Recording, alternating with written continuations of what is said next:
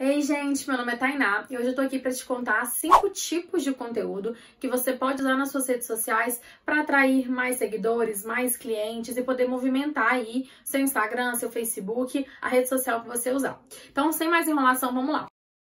O primeiro tipo de conteúdo que eu quero indicar para vocês é um conteúdo informativo. O que seria esse conteúdo informativo? Jornal, vamos pegar aí um exemplo do jornal. O que, é que o jornal faz todos os dias com a gente? Ele nos informa de acontecimentos que estão em alta, por exemplo, agora com o coronavírus, todo dia sai no jornal notícias sobre o coronavírus, e você também pode criar um tipo de conteúdo informativo no seu Instagram. Aqui na Epifania mesmo, a gente já fez vários tipos de conteúdo informativo. Por exemplo, é, o Facebook e o Instagram lançaram uma nova versão.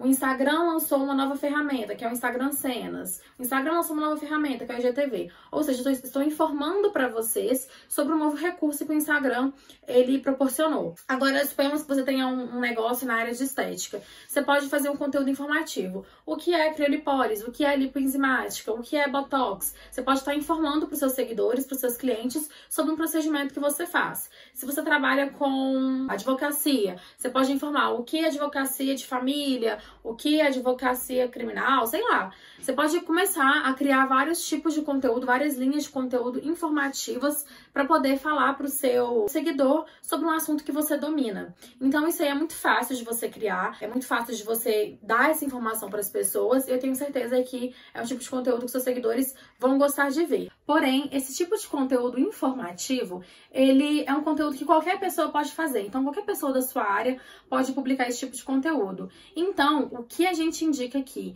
é que você sempre informe sim os seus seguidores, porém saiba que isso não vai gerar tanto valor para ele. Ou seja, você pode começar a criar conteúdos que tenham mais valor para os seus seguidores. Que tipo de conteúdo seria esse?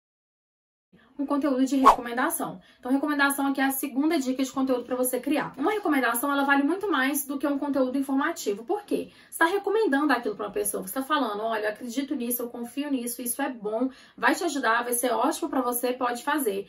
Então, assim, as pessoas, elas tendem a confiar muito mais no conteúdo que você está recomendando do que apenas no conteúdo que você está informando. Comece a recomendar para as pessoas para elas fazerem algo. Por exemplo, aqui na Epifania, vou dar mais um exemplo da gente. Eu posso recomendar para você você usar o Instagram Stories. Eu posso recomendar para você que você sempre use uma nova ferramenta que o Instagram disponibilizar, porque ele, costuma dar mais prioridade para as pessoas que se engajam com as ferramentas novas que eles colocam no ar. Então, eu estou recomendando para você. Se o Instagram lançar amanhã uma ferramenta nova, comece a utilizar essa ferramenta nova. Pode ter certeza que você vai se destacar em relação a isso. Aí você trabalha com estética, que pra mim é o exemplo mais fácil de falar pra vocês. Você trabalha com estética. Então você pode recomendar: olha, você é uma pessoa que tem entre mais ou menos 30, 35 anos, já tá começando a se incomodar com algumas ruguinhas, com algumas linhas de expressão que tá aparecendo, eu posso te recomendar um procedimento, Botox. Então você pode começar a criar algumas linhas editoriais mais focadas na recomendação do que na informação.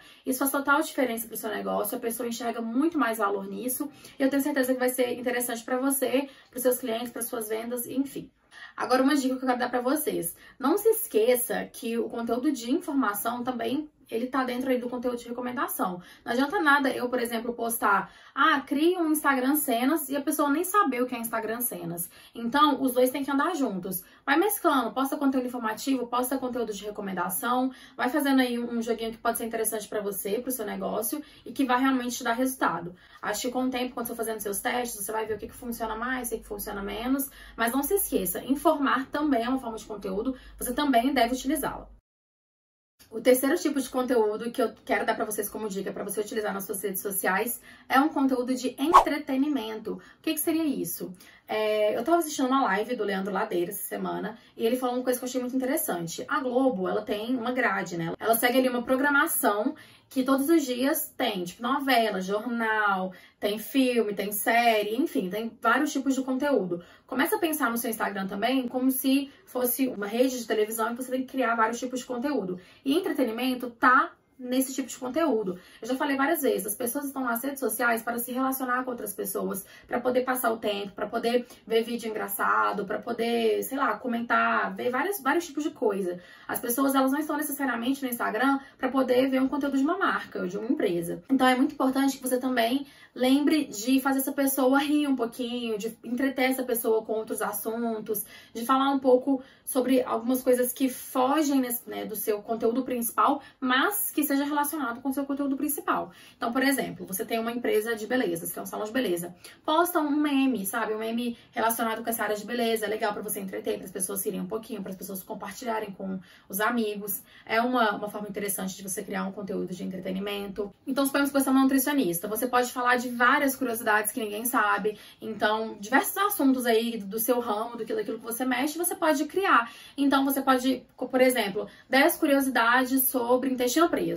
É, 10 curiosidades, 5 curiosidades sobre é, alimentos que deixam sua pele mais bonita. Sei lá, você pode criar uma lista, por exemplo, de diversos tipos de conteúdo e começar a movimentar suas redes sociais com esse tipo de conteúdo. Inclusive, esse conteúdo de você listando algumas coisas, né? É, é super interessante, as pessoas gostam, elas têm curiosidade de ler. Então, é uma forma também de você criar um conteúdo para entreter essas pessoas. Esse conteúdo aqui, inclusive, ele é uma listagem, né? Que eu tô contando para vocês cinco tipos de conteúdo. Então, você pode utilizar da lista para poder criar outros tipos de conteúdo. É, uma coisa que eu acho muito legal também é você indicar para as pessoas, assim, um filme, uma série que tem a ver com aquilo que você trabalha, com aquilo que você faz e que as pessoas podem assistir. Então, assim, eu indiquei para você essa semana é, filmes e programas de televisão para você assistir durante essa quarentena. Então, é uma forma de entreter a pessoa. Eu não tô falando necessariamente do meu assunto principal, mas estou indicando para ela se divertir, para ela relaxar um pouco assistindo um filme, porém aprendendo também. Então é interessante você mesclar, ter um conteúdo de entretenimento, isso faz diferença. As pessoas tem vezes que elas estão na internet, no YouTube, no Instagram, para poder aprender algo, mas muitas vezes elas também estão para poder se entreter e passar o tempo. Então não esqueça que esse é um tipo de conteúdo que eu vejo que muita gente deixa de fazer, né, nessa parte de marcas assim, as empresas elas têm receio de fazer esse tipo de conteúdo, mas faz muita diferença no seu negócio. O quarto tipo de conteúdo que eu quero indicar para vocês é um conteúdo de opinião. O conteúdo de opinião é muito importante, ele é bem legal. Por exemplo, eu posso vir aqui dar minha opinião para vocês sobre redes sociais, minha opinião para vocês sobre o stories, sobre o feed. Posso falar as minhas impressões. E você também pode falar suas impressões sobre o que você trabalha, né? A área que você tá. Então, suponhamos, você tem uma clínica de estética surgiu um, um, procedimento novo e você pode dar sua opinião sobre esse procedimento novo. Surgiu algo, sei lá, vai revolucionar a clínica de estética. Você pode dar sua opinião sobre isso também. Faz muita diferença você falar um pouco sobre sobre o que você acha, sem contar que esse tipo de conteúdo de opinião ele conecta. Ou seja, você cria uma relação com as pessoas. Você tá falando de você mesmo, aquilo que você acha. Então as pessoas elas tendem a, a, ouvir o que você acha. Você pode gerar até uma discussão nos seus comentários, uma discussão saudável, acho que sempre válido, mas tem gente também que cresce aí com polêmicas e, né, nada contra. As pessoas fazem o que elas acham que é o ideal para elas. Por exemplo, a Lara Nesteruk é uma nutricionista super renomada, conhecidíssima, aí o Instagram dela tem quase um milhão de seguidores, e ela tem uma opinião super polêmica em relação ao trabalho, né, em relação ao empreendedorismo, sobre ela não querer contratar mulheres. É uma opinião dela. E o que aconteceu? É, várias pessoas, tipo, milhares de pessoas, foram lá xingar ela, reclamar, teve gente que foi apoiar. Ela gerou uma discussão ali no, nos comentários dela. E muita gente vê isso com maus olhos. Ai, foi péssimo pra imagem dela. Só que muita gente concorda com ela e começa a seguir ela por conta dessa opinião dela. Então, assim, ela não tem medo de falar o que ela pensa. Então é importante que você também saiba construir um conteúdo de opinião, que você fale um pouco sobre você, que você fale um pouco sobre aquilo que você acha sobre determinado assunto, que eu tenho certeza que vai te conectar com mais pessoas, é, você pode conseguir mais seguidores por conta disso, mas o mais importante, eu quero frisar que é você conseguir clientes. Você tá na rede social dia é para conseguir clientes. Então, assim, é, dê sua opinião, gere uma discussão saudável ali nos seus comentários, acho que a discussão saudável é a melhor opção, assim, mas não, não deixe de criar esse tipo de conteúdo. Muita gente também tem receio disso. É, uma cliente minha mesmo, ela faz extensão de cílios e saiu uma, uma matéria no jornal aí de que uma menina fez extensão de cílios em outro país, acho que foi na Inglaterra, e que detonou os cílios dela. enfim, foi, foi uma coisa bizarra, assim, nos, nos olhos mesmo. Ela teve que fazer cirurgia, foi um trem muito louco. E ela ficou com receio. Ai, será que eu falo sobre isso? Será que não? Eu falei, não, fala. É importante que as pessoas saibam sua opinião e saiba também como você vê aquilo, né? O que, o que você acha. E ela falou, deu super certo, foi ótimo. Porque as pessoas que tinham visto essa matéria, né, já ficaram mais tranquilas, viram que ela faz de uma maneira diferente, que ela não concordava com aquela prática. Então, assim, é importante que você dê sua opinião também, sua visão sobre determinados assuntos, porque isso é bem interessante. E o quinto tipo de conteúdo que eu quero indicar para vocês hoje é o conteúdo de tutorial. Ou seja, você ensinar as pessoas a fazer alguma coisa. Tutorial é um conteúdo que eu particularmente consumo muito, eu adoro. Então, por exemplo, receitas é um super tipo de tutorial. As pessoas toda hora postam, né? Canais grandes assim postam e sempre bomba. Então, tem o canal da Daniele Nossi, que ela que é super bombado, que eu acho que muita gente conhece, que ela ensina ali. Ela não, gente, aqui ensina é o marido dela e a sogra dela. Mas assim, eles ensinam a fazer receitas, ela cresceu porque ela ensinava as pessoas a fazer receita. É um conteúdo que as pessoas adoram assistir, as pessoas adoram aprender algo. Então aqui, eu, eu por exemplo, já criei um tutorial para vocês de como criar stories mais criativos. O nosso vídeo mais visto no YouTube é de um tutorial, que é de como você colocar legenda no vídeo. Acho que é esse tutorial que é o mais visto no nosso YouTube. Ele tem mais de 4 mil visualizações. A gente é um canal bem pequenininho. A gente tem, sei lá, 40 inscritos. Então, assim, é, o tutorial é um conteúdo que as pessoas consomem muito. E é um outro tipo de conteúdo que dá para qualquer área fazer. Então, você não tem desculpa falar, ah, mas eu vou ensinar o quê para as pessoas? Gente, Pode ter certeza que você vai conseguir ensinar as pessoas algo, que as pessoas vão assistir, que as pessoas vão se interessar, porque as pessoas elas gostam muito disso, sabe? E não tem nada melhor do que você criar um conteúdo, a pessoa sair do seu vídeo já ir fazer aquilo que você ensinou. Então, assim, quando eu fiz o vídeo de, de stories, teve gente que mandou mensagem, ai, ah, já baixei, já, já utilizei.